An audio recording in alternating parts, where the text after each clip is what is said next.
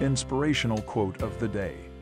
The most important thing a father can do for his children is to love their mother. Inspirational quote of the day.